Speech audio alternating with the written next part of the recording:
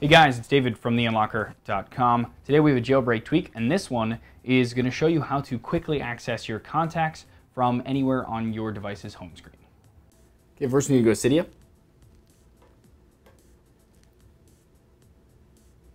Tap search in the bottom right. Then we're going to look for quick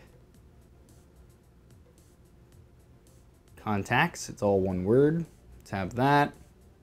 Tap purchase sign in with, with, whatever account you want to sign in with. Enter in your passcode. Choose your payment method. And once you're done purchasing, tap close, and the purchase will turn into an install. You tap that, then tap confirm. Once it's done installing, tap restart Springboard and wait for that to finish. Once it restarts, there is no configuration options, just pull down here. Um, you tap on any of these icons to choose a person. Um, and then if you want to change that person, you just hold down uh, and you can change them to someone else.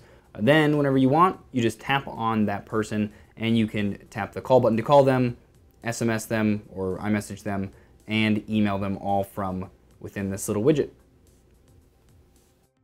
And there you go. I hope that helped some of you. And if you'd like to check out some of our other tips and tricks or other how-to videos, feel free to follow me on Twitter, Facebook, Google+, or subscribe to our YouTube channel.